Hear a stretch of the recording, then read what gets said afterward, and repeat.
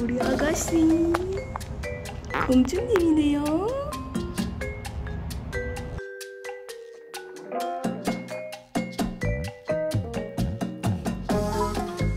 고객님의 전화기가 꺼져 있어 비소리 이후 음성 사정으로 연결됩니다.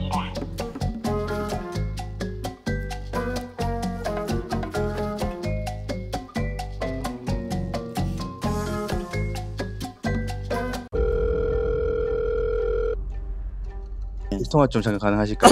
예, 예. 그 혹시 혹시 사기 당했어요? 예. 아 지금 사기를 계속 치고 다니시는 건가요?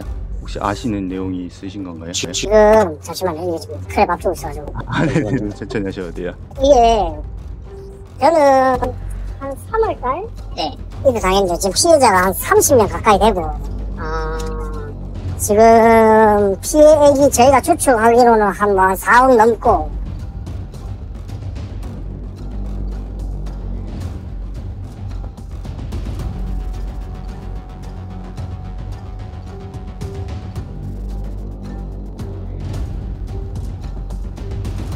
지금 그 돈을 이제 있죠. 네. 그 별풍선으로 4억을 썼어요 올해.